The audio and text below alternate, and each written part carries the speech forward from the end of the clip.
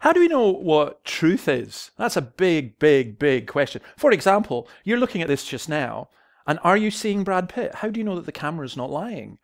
You know, it just doesn't make me look that good. How do we know any kind of truth at all?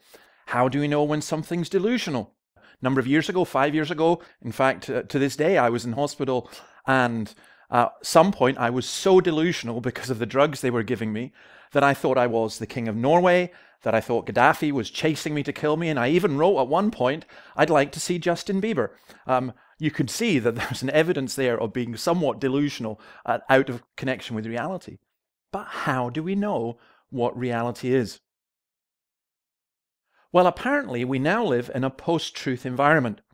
Post truth carries this idea of people who don't agree with us. They haven't made their decisions based on truth, they've just based it made on feeling and emotion. Where does this uh, post truth idea come from? It's a really fascinating concept.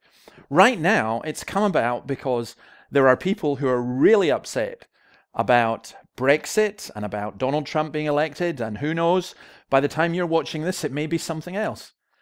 I think for Christians, this is a fantastic opportunity because what's happening is that the chickens are coming home to roost. For decades, people have been taught in universities there's no such thing as absolute truth.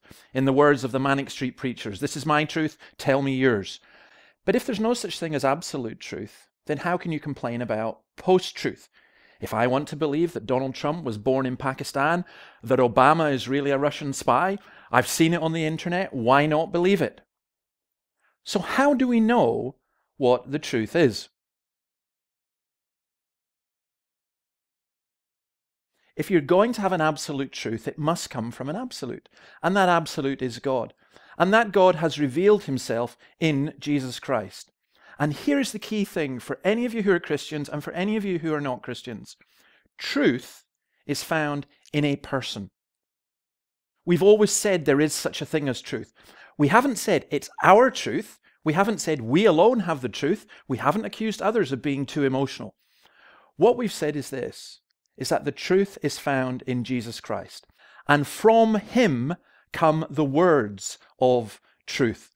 So, my barometer, if you like, my straight line by which I measure truth is Christ and His Word. I see so much confusion and darkness in the world, but I see the light and the truth of Jesus Christ shining through, and I suggest you take a look.